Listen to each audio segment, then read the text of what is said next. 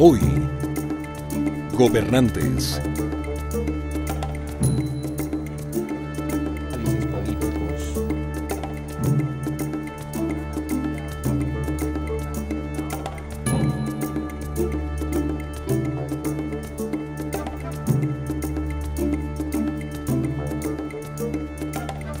Departamento de Caquetá.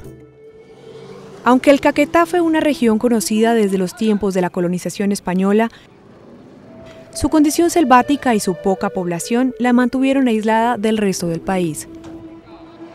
Con la explotación de sus recursos naturales y la llegada de gentes que huían de la violencia política, se consideró convertirla en un departamento. Con la llegada al gobierno del presidente Julio César Turbay Ayala, el sueño se hizo realidad y esta región fue declarada como departamento.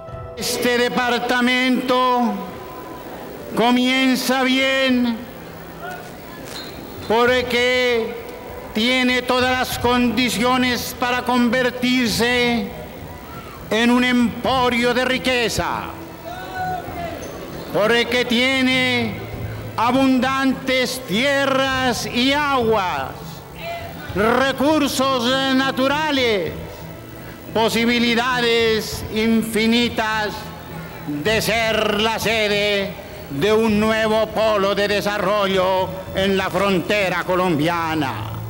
La ciudad de Florencia fue nombrada su capital y luego se crearon nuevos municipios como Albania y Cartagena del Chairá.